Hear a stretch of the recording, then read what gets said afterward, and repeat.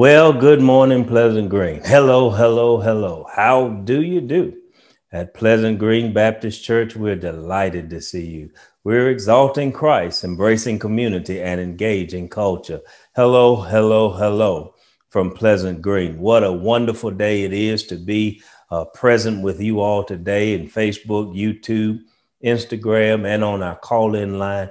It is spring again. And yes, uh, brothers and sisters, how grateful and uh, we are to God for bringing us from one season to the next season. Last week we had several storms uh, uh, come through our, uh, our communities, and the weeks before that we've been dealing with water crises and even ice storms and all kinds of things. How great it is that God is still keeping us in the middle of all of the storms that we have come through. And yes, spring is upon us, and thank God for uh, his giving us this moment in time. We ought to just go ahead and shout and praise him right now because he is worthy to be praised. We have a blessed assurance from him that he is ours and we are his. And as we get ready to engage in our worship, uh, Marcus is going to come and he's going to play for us as we worship God in spirit and in truth, for he is seeking such to worship him. Hello, hello, hello. How do you do?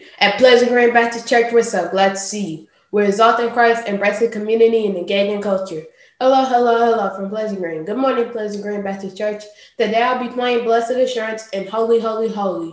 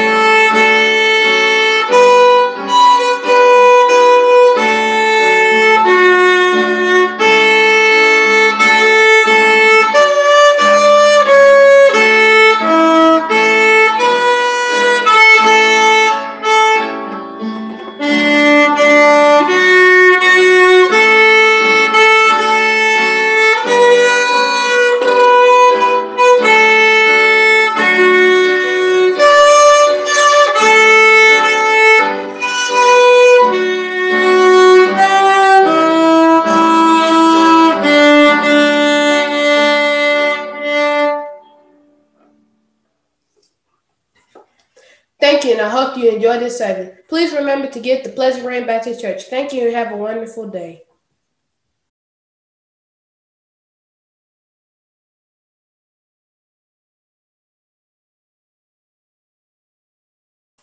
Oh, brothers and sisters, thank God for this morning. Thank all of you all for being with us again on this day. I want to invite your attention to 2 Kings 22, verses 14 through 20. In this text is where we'll find our uh, message for the morning, beginning at verse 14. So the priest Hilkiah, Ahikam, Achbor, Shaphan, and Asaiah went to the prophetess Huldah, wife of Shallum, son of Tekiah son of Harah, keeper of the wardrobe. She lived in Jerusalem in the second district. They spoke there with her. She said to them, This is what the Lord God of Israel says Say to the man who sent you to me, I am about to bring disaster on this place and on its inhabitants, fulfilling all the words of the book that the king of Judah has read because they have abandoned me and burned incense to other gods in order to anger me with all of the work of their hands. My wrath will indeed be kindled against this place, it will not be quenched. But to the king of Judah, who sent you to inquire of the Lord, this is what the Lord God of Israel says. As for the words that you have heard, because your heart was tender, and you humbled yourself before the Lord when you heard what was spoken against this place and against its inhabitants, against its people, that they would become a desolation and a curse. And because you have torn your clothes and wept before me, I myself have heard, I have heard you. This is the Lord's declaration. Therefore, I will indeed gather you to your ancestors and you will be gathered to your grave in peace. Your eyes will not see all the disaster that I'm bringing on this place. This they reported to the king.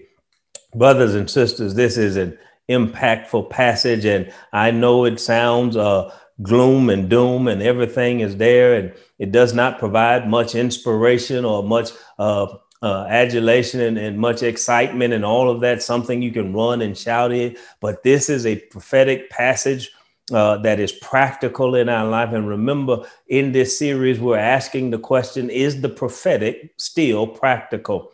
And this prophetic proclamation here that is given in this text came again in a time of needed social change, in the need of in the time of societal chaos, in the time of statewide corruption that needed sovereign correction. Both the people and those in power were involved in all of these issues, and they needed to get back to the confirming and conforming standards of the covenant that had been given by God. God had called people who loved him and loved his people to be sounding boards and sounding the alarms to all of those, uh, to the people and to those in the power to the public and the private spaces and places. And so, here, what we learn and what we glean from what God has to say to us today, as we are seeking the prophetic voice that we are called to follow uh, in this passage, as opposed to our own pride and our own prejudices, perspectives, and politics, we have seen in our time, we have seen that in our day, we are oftentimes haughty, high-minded, hasty, and wrong-headed in our in our doings and in our things. And we have not yet come to a place where we've humbled ourselves before God when His word has been heard among us. Even in, it doesn't matter what circle of life or situation you find yourself in, we find ourselves on the side of high mindedness and rather humility. But God wants us to know this morning, this day, brothers and sisters, that just as He has spoken to the prophets, He speaks to the people. He has called the prophetic voice to be heard and to be heeded. If we will not humble ourselves, and if indeed we are going to humble ourselves, we, as well as our leaders in our community, in our city, and in our country, we must understand that we are going to have to focus on the book That's the message for today. Focus on the book. Whenever life gets bad, whenever life looks down, whenever things are not going your way, whenever there's a situation in your life, whenever there's a circumstance that you can't quite understand, whenever you've come stumbled upon something that that pricks you at your heart, you and I and our leaders in our communities and our countries always must focus on the book. It is the book that gives us life. It is the book that tells us what to do. It is the book that makes it easy for us to understand how we are to live our life. It's the B I B L E. Yeah, that's the book for me. I stand upon the word of God, the B I B L E. And one preacher once upon a time said the Bible is the basic instructions before leaving earth. And what you heard in that passage what a, was a prophetic sounding voice speaking about what the contents of that book were and what was discovered and what had been happened upon. And if in as we as we engage in this story in Second Kings chapter 22, we will discover that a focus on the book will assist us in every part of our life. Point number one of the message is focusing on the book brings consultation. And we find that in the very first verse that we had uh, read in uh, 2 Kings 22, uh, verse 14. And before I get into that verse, let me kind of set the stage for you of where we are and how we have gotten here. Young King Josiah, who was eight years old when he had come to the uh, uh, kingship of, of, of Judah, this young boy of eight years old, whose grandfather was one of the worst kings in all of Israel, he had come into a time, into a place when Israel's corruption, Israel's uh, Israel's outlook on the life was in such a disarray, where the country was in shambles and chaos and divided about everything and anything. There was no, there was nothing positive happening in and around the country. And this little young boy at eight years old comes under the tutelages of prophets and preachers and priests and all of the persons who would groom him and grow him. And here in this passage, they have uh, they have been uh, in Second Kings. When we get to Second Kings 22, as this young boy is being groomed into his kingship, they they discover uh, Hilkiah discovers a book of the law, and they open that book and they read it, and they're troubled by what they see. They're troubled by what they hear from the word in the book, and they don't know what to do. And now this young king He's about eight, uh, he's about 25, 26 years old. It's about 18 years later into his into his kingship. They're hearing the words in this book that are talking about all of the destruction, all of the devastation, all of the things that are going to come upon Israel and make them a desolation, and they do not yet know what to do.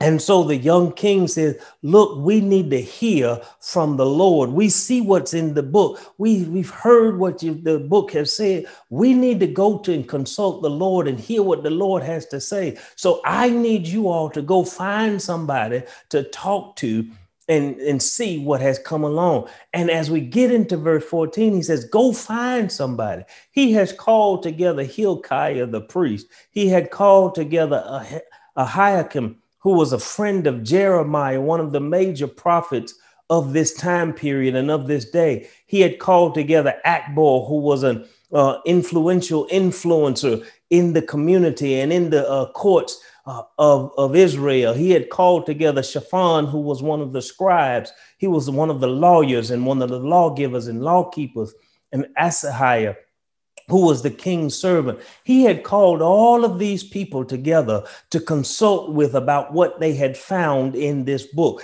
and the words that they had read in this book. And they were so puzzled and perplexed about what the things they heard and what they saw and what they read in the book that Josiah says, okay, look, we've come together, we've consulted together, we've counseled together, we've talked together about the things that are in this book. So I need you to go and speak to someone who can get in touch with the with the Lord, who can get in tune with what the Lord is saying to us in these words that we have just read. And so they sought, so they sought out Huldah, who was a prophetess in the second district, which meant she was just a short distance away from the main kingdom, from the main castle, from the seat of government. She was just a little ways away. There were people that she they could have gone to. She was the but she was right there in the community, in the city. And sometimes, brothers and sisters, we don't need to go all the way to the White House all the way to the Capitol to find somebody who can tell us what we need to do to handle our situations and our circumstances. Sometimes the people in the White House need to just send somebody down next door, somebody who's right there around from us, who we can get to. Who knows the word of God, who knows the will of God, who has seen the working of God, and who has the heart of God within them and the word down deep in them, and we can get to them. And this is who this Huldah woman was. This is who this prophetess they sent for. They went to Huldah, a prophetess. And she was the wife of Shallum, who was the son of Tekiah, the son of Harhas, the keeper of the royal wardrobe. He was a, intricately connected to the king. Uh, so this woman Huldah, who had been married to the grandson of a woman of a man who was a ro- keeper of the royal wardrobe, she knew what had been going on in Jerusalem. She knew what had been happening in Israel. She knew all of the things that had been going around, all of the corruption and all of the chaos and all of the confusion that had been going around and they went to her to see now what does the lord have to say about all of this stuff that we have found in the book and the reason we know that she knew everything that was going on, the text tells us that she lived in the college, in the place of instruction, in the second district, in the new quarter, in the new in the short place away from the castle. So she was intimately involved with instructing the children of Israel about what was going on in the country and in the community. But she was also close enough to the king's courts that she knew politically and perspectively all of the things that had been happening. And she could give a good perspective because she gave the perspective from the Lord as well as the perspective from the land and the people. So this prophetess prophetesses with whom that they consulted here in verse 14. And so, brothers and sisters, when you focus on the book, you can gain consultation because counsel will help explain the reality that we are dealing with in our time. And the reality was that Jerusalem was in trouble, Israel was in trouble, Judah was in trouble, America is in trouble, Mississippi is in trouble, Jackson and Vicksburg is in trouble. And we need godly counsel to explain to us the reality of the situation that's going on in our land today and we need some we need some good godly counsel to explain the reality of the content of our situation of the things that are written about us in the book. Yeah brothers and sisters we need counsel to explain the reality of the content of what's going on. Judah uh, the, the Hilkiah had discovered this book and he had taken it to Josiah and to Shaphan and to all of the persons, and they had gathered there to hear the words. And when Josiah heard the book, he knew he heard the content, he heard what was said in the words, but he needed an explanation as to what this content meant for uh, this country in this time, in this space, because these things had been written years before. Oh, brothers and sisters, here in our community and in our cities and in our capital city of the state of Mississippi, we know what has been going on, and it has been going on for a lot of years. It has not just been happening, it has not just started, it has not just taken place. We know the content. And so when we come together under good godly counsel to see the reality of the content of what's going on in the book, in the con in the text of what we of our life, what the book has already said is what has already been written about us. But Josiah needed to know more than just what the content was. He needed to know why the context was now. He needed to know the context of the reality of their situation. Why are these things happening now? Why did Hilkiah find the book under my leadership? Why did this happen under my reign? Why did this happen for such a time as this? What does it mean for Israel? What does it mean for America that we have a president following after another president? What does it mean to have a president in the middle of a pandemic that behaves one day one way and then you get another president in the middle of the same pandemic that responds a totally different way? Why is this happening right now and brothers and sisters, sometimes a change in administration means a change in, in how things are going to be administered in the country. And Josiah, who was a good little boy at eight years old, and the Bible says his whole heart was after God. He did everything right in the sight of God, but he still needed that counsel to explain the reality of the content and the context of the situation now he finds himself in 18 years later. Brothers and sisters, we have found ourselves in the content and context of situations and circumstances that have now been taking place years over year over year over year. And now we're having to deal with the realities of what's going on in our communities and in our uh, cities and in our country. The reality is that we have been behaving in such a way that God has not been honored by in the public square, in the in the in, or in the private citizenry, in the in our private spaces and places. God has not been honored, and now He's showing up, telling us that correction is needed. And so, second point of the message is not only is focusing on the book brings us consultation in terms of the reality of the content and the context of our situation but focusing on the book brings brings us to a place of confrontation in terms of how we're going to respond in the situation that we are in. Look at verses 15, 16, and 17 with me, if you will. Let's look at them. The, the prophetess Huldah said to the men who had come to her to seek out an answer to the question of why is this stuff uh, written in the book, the content and the context. And she said to them, Look, this is what the Lord has already said. The God of Israel said, Go back and tell the man who sent you to me that I am bringing disaster on this place. I am bringing destruction on this place. I am bringing desolation to this place and to its people all of the words of the book of the law, which the king of the of Judah has now read, which Josiah has heard, which Josiah has been pricked by. You and I'm going to bring all of this to bear upon you. And then why am I going to bring all of this to bear upon you? Because you have forsaken me.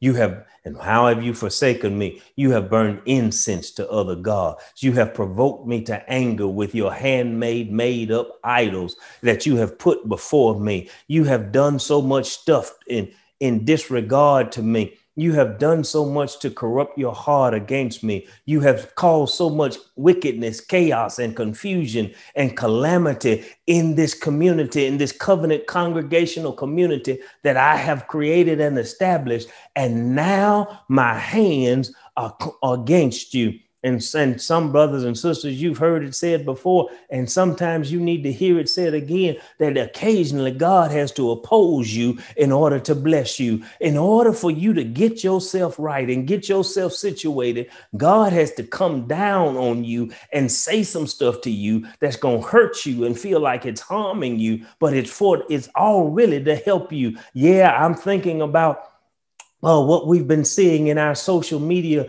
and posts and our and our and our daily news all over the place. How Kirk Franklin, this guy who sings all of these songs, came down upon his 30-something year old son who was behaving badly, and all of a sudden. Kirk Franklin decided to get on social media and apologize for coming down on that boy and saying some stuff and using some choice words against him. And now he might not should have chosen those particular words, but sometimes sometimes the person in authority has to come down on those who are under their authority to help them understand that listen you have wronged me too many times and in too many ways and i've got to handle you. I've got to deal with you. And when i then the way i'm going to deal with you brother you is not going to like it And so this is what Huldah says that God is saying to the children of Israel, because she says in verse 17, Therefore my wrath is burning against this place, and it shall not be quenched.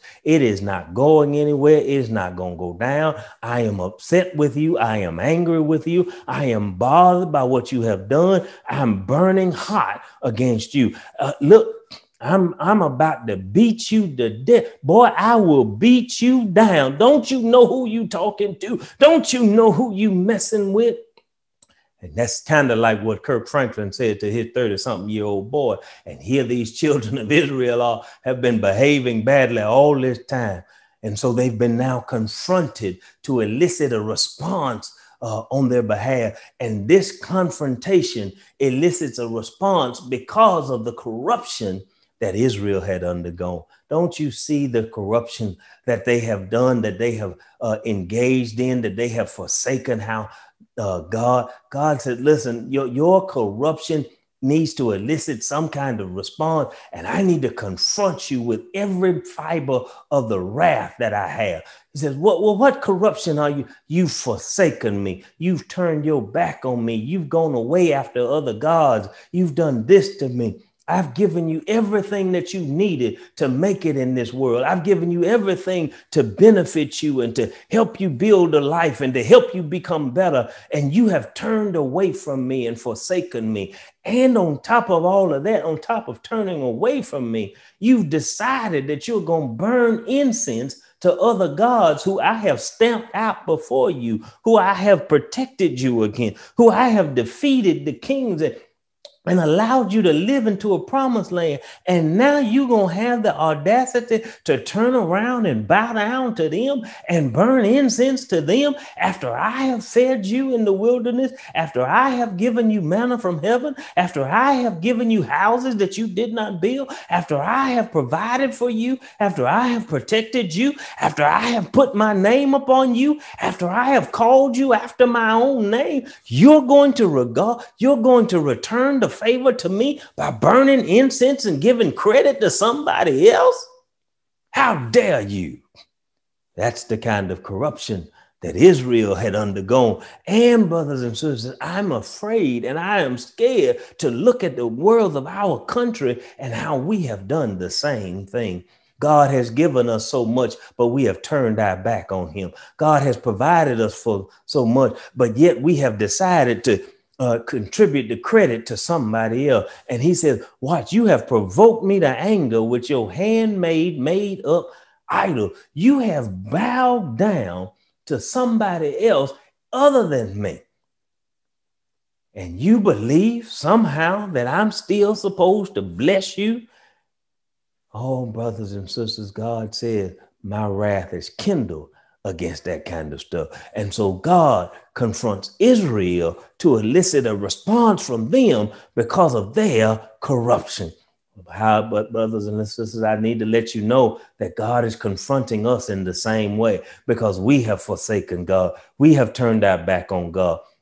We have bowed down to other gods. We have burned incense. And I hear you saying, No, no, no, no. I love Jesus. Oh, but you won't do anything he tells you. You won't focus on what the book told you to do. You won't do what he said do. You won't live your life the way he said live. You try to cheat a little bit over him, get a little bit over there, do a little bit of dirt over him, follow after your own uh, feelings and after your own facts over there, not following after faith over here. God says, You have wholeheartedly turned your backs on me. You have forsaken me in every particular regard of your life. And so God confronts Israel to elicit a response based on their own corruption, but he confronts them to elicit a response because he needs to offer them correction.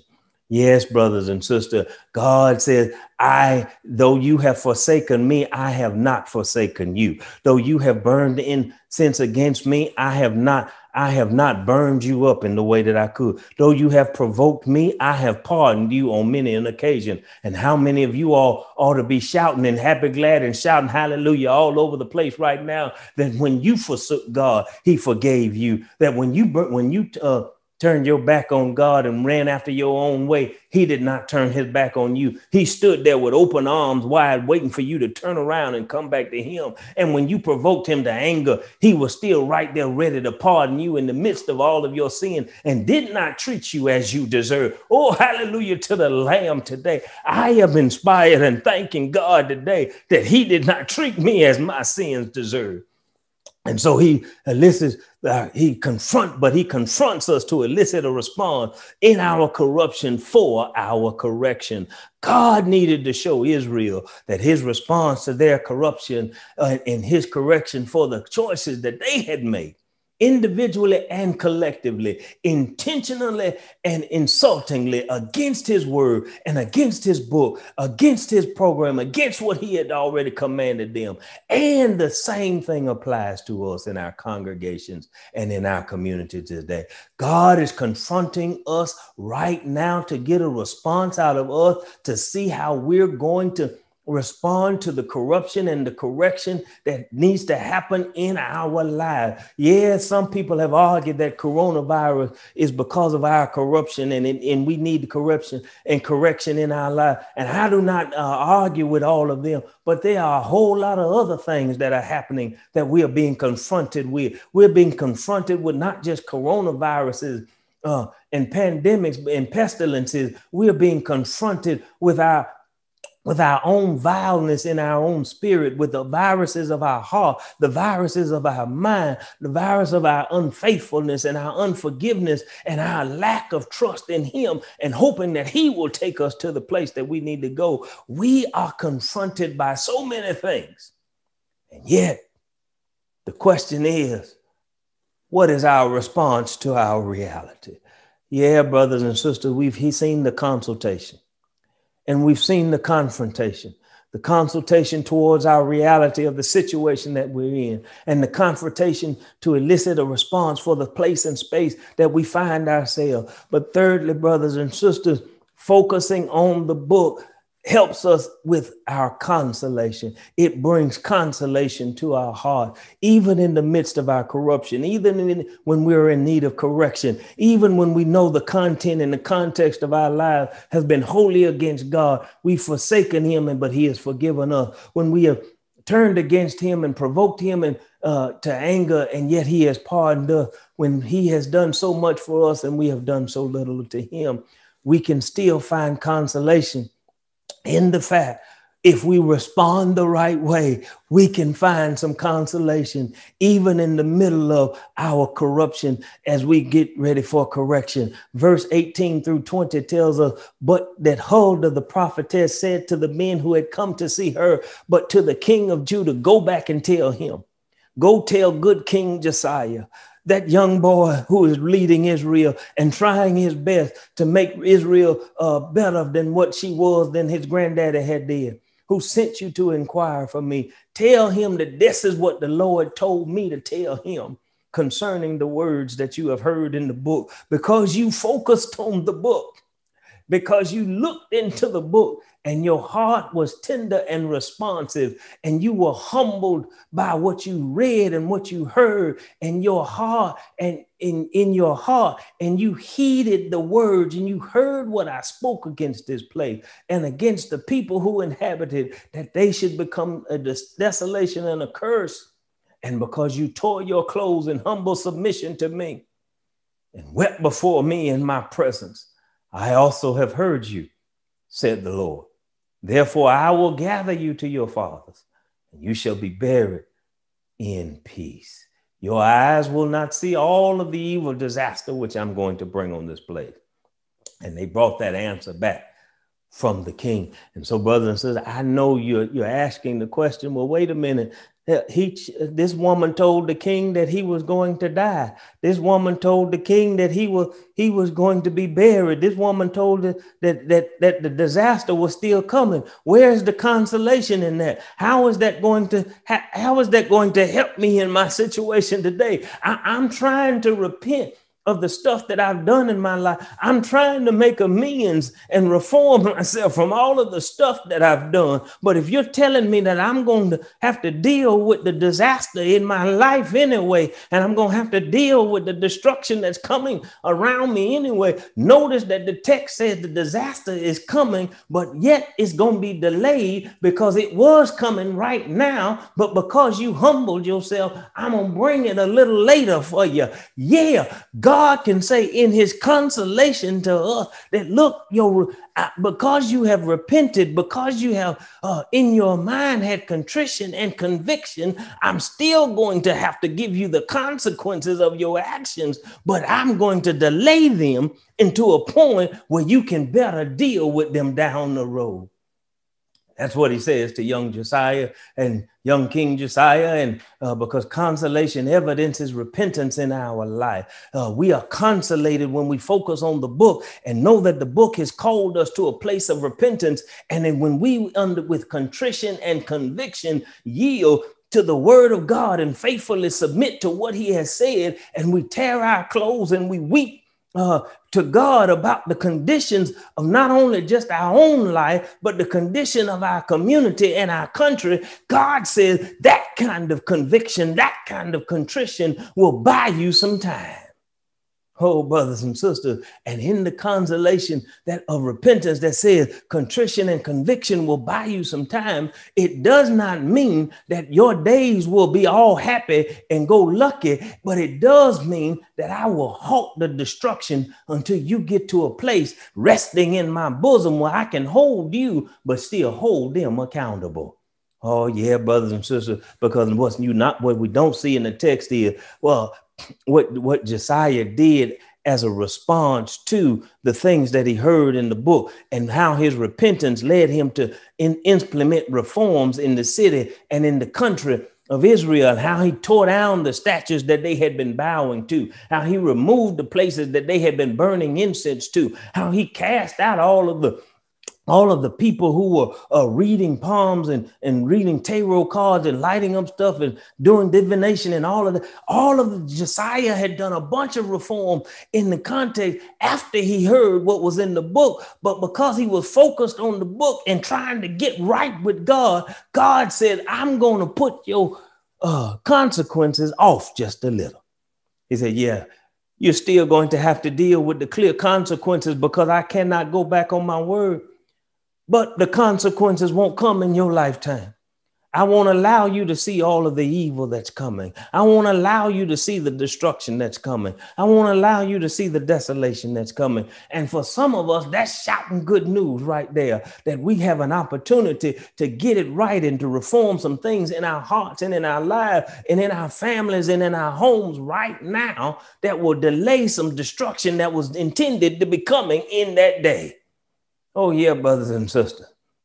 I got to tell you that God wants you to know that even in judgment, it comes with some mercy we don't get nearly everything that we deserve. And I thank God right now that I hadn't gotten everything that I deserve. I thank God that I've done a couple of things better in life than I used to do. And some of the consequences of my past behavior are delayed and put off for a period of time down the road. I don't know about you, but that's good news right there. That's inspiring news right there. That's shouting news right there. That hallelujah good news right there. His consolation is evidenced in my repentance. And so he can bring upon my uh, conviction a place where I can celebrate even what he's doing, even when I know consequences are coming my way. Oh, brothers and sisters, contrition can delay the coming wrath, even if it doesn't delete it in your life. Brothers and sisters, I want you to get this and get this good. Josiah was told by the prophetess that he would go to his grave in peace. Now, watch this. If you read the text a little further into chapter 20, into chapter 24, you will discover that Josiah died in battle. Now, that doesn't sound like peace, but watch this. For a king to die in battle was an honor. For a king to die in battle after he had reformed his country gave him double honor. For a king to die and be honored by all of the people as a hero of the country means, means for him that Josiah's name was exalted because he had humbled himself and all of the other kings of Judah and Israel name had been put down because they had exalted themselves. Oh brothers and sisters, I'm trying to tell you, even if you die on the battlefield, you can die in peace because your heart and, and your soul is at peace with what God has already done in your life. Yeah, there's a lot of things going on in our world.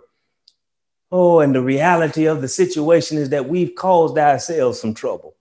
And we have got to respond in with contrition and conviction to the corruption and, and, the, and the correction that's needed in our life. But when we come to God in repentance, God says, I will reform your life if you connect with my son. Oh, because you look, brothers and sisters, the battle is not over. The battle is not won for you and I individually in our time today. But guess what? Your battles have all been fought and your battles have all been won because one day, and we're getting ready to come up on Easter now, getting ready to come up on Easter because one day Jesus fought the battle for your load, for your life, and for your soul. They stretched him wide. They hung him high. They put nails in his hands and feet, rivets in his body, and he died just for you and I to fight the battle that we could not fight. Jesus paid the price for what we could not pay. And because of that, we now know that God is guarding, guiding, and governing our obedience through his word if we will just focus on the book in all of our journeys from the wilderness to the promised land. Oh, yeah, brothers and sisters, let's pray together. Lord God, help us to follow after you. Help us to focus on your book. Help us to follow after godly leaders who rely only on your word, who do not run away from your word, who do not rebel against your word, who do not reject your word as given by the prophets of old and even by the prophets of, uh, of our time, so that we will know that there's correction in, needed in our life and that in, their consequences may be coming. We can be cleansed by the blood of the Lamb, and that we can learn to operate in faith, not in fear, not in foolishness, not in futility. In Jesus' name, amen. Now, brothers and sisters, we want to offer you the opportunity to focus your life on the book. You might have been living your life your own way and in your own and in your own time frame, out of your own feelings, out of your own facts. But God says it's time for you to focus on the book and live by faith. But by faith, you can be made whole. And we want to give you that opportunity. We invite you to do that. So now contact us at any of those uh, uh, opportunities on down on the screen, and I promise you, we'll get somebody in who can counsel with you, talk with you, and and and, and take you into a place of care confrontation, so that we can make sure uh, that you're ready to walk your walk with the Lord and head from your wilderness to your promised land. In Jesus' name. Amen. Won't you do it? Listen, brothers and sisters, thank God again for all of you all being with us. Thank God for you all watching us on Facebook, YouTube, Instagram, and, and in our call in line. I am so grateful and thankful to all of you who partner with us and who are praying for us and who participate with us in this ministry. Listen, we are we are eternally grateful and we want you to continue knowing we cannot do this without you. We continue to need you to survive we continue to ask you to be supporters and contributors of the, of, of the uh, ministry and the service that we're doing in our church and in our community. Yeah, we're still not in the sanctuary, but we're getting closer and closer. Thank God for the vaccines. They seem to be doing a, a, good work. We know that there's there's some potential variations uh, that are coming, and we're concerned about those, and we're still looking for those. And we're still looking to see what's going to happen with that. And let, listen, let me just go ahead and say it uh, we, we, are thinking about and praying about the possibility of a of an Easter service, but it it, it it it right now it still does not look uh, look like we might not be able to do that in the way that God that I believe would be safe and would honor God. And it, it, it getting into the sanctuary for Easter just to say you were in the sanctuary for Easter and, and not make sure that you're providing safety and, and security and a, and a sound uh, principle for God is not what God wants uh, us, how God wants us to celebrate Easter. God wants us to celebrate Easter knowing that he, we are resurrected Easter people and redemption is possible even if that means you don't have service on Easter Sunday morning. Oh, brothers and sisters, I continue to pray and encourage you to wear your masks, wash your hands, and make sure you watch your distance, watch your back, and watch out for your neighbor. Now, brothers and sisters, let's hear the benediction for the day. The Lord bless you and the Lord keep you. The Lord make his face to shine upon you and be gracious unto you. The Lord lift up his countenance upon you and give you peace, and give you peace and give you peace. Now let the whole church say, Amen. Brothers and sisters, if it's God's will, we'll see you next time.